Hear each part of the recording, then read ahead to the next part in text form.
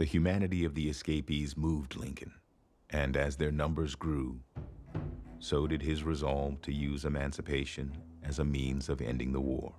Great detail in the series, and I think it's a great time to go back and look at uh, this period in our history to examine Lincoln's presidency, the most divided period in American history, as we experience divisions today that in some ways echo that time. Let us never mind the past.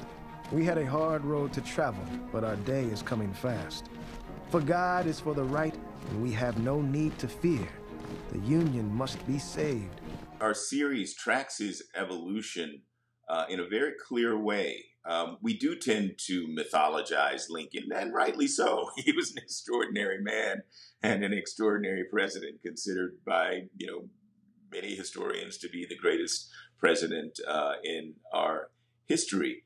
But he was a complicated man and a man who evolved over time through his presidency. You can go read Frederick Douglass's perspective on Lincoln at the unveiling of the Emancipation statue in Lincoln Park in D.C. And again, he paints a clear eyed picture of Lincoln as a complex man um, a man of his time, a man who was burdened by the race president pre- uh, prejudices of his time, but also someone who kept his promise to black people and actually followed through with the demands on him that he uh, that he abolish slavery in the country, which he did.